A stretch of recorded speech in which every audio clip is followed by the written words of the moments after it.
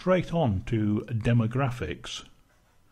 Let's give that a second to come up because here is just fascinating stuff.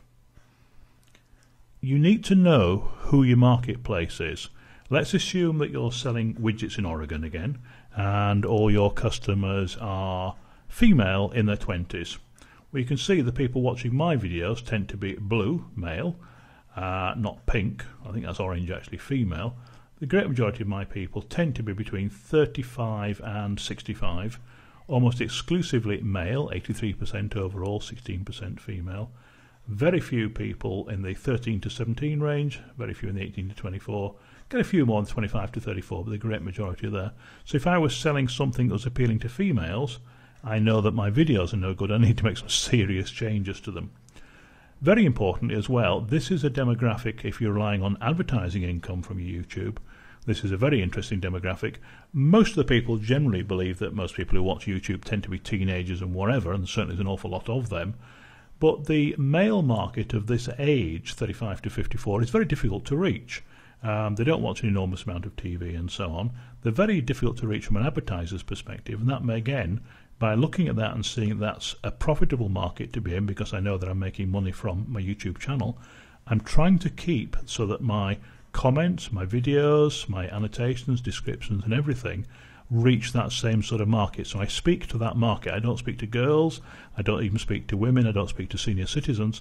I talk generally to males between 35 and 64, and that's my market.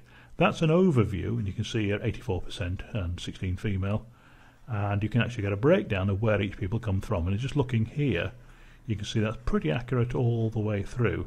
Uh, although the actual number of views differ, the actual breakdown is about the same. I just have slightly more females watch me in the United States overall than males, whereas in the other countries it tends to be a, uh, a pretty even split. Uh, sorry, a much higher split for males, not even, which tends to be about even for the rest, but slightly higher there.